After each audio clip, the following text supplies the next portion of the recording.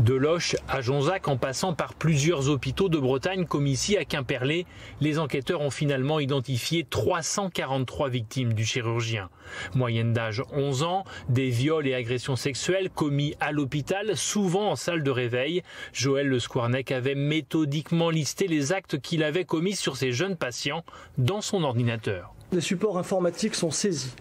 C'est l'analyse de ces supports qui permet de mettre au jour des écrits imputables à M. Le Squarnec, pouvant être qualifiés de journaux intimes à caractère pornographique, essentiellement pédophiles et couvrant 25 années. Pendant ces 48 heures de garde à vue, le chirurgien a eu d'étranges trous de mémoire, selon le procureur de Lorient. M. Le Squarnec s'est montré plutôt distant et détaché. Il a tout de même fini par conseiller, par concéder, pardon, certains faits tout en concluant, suivant un degré d'authenticité qui restera à évaluer dans le cadre de l'information, qu'il regrettait le mal qu'il aurait pu causer.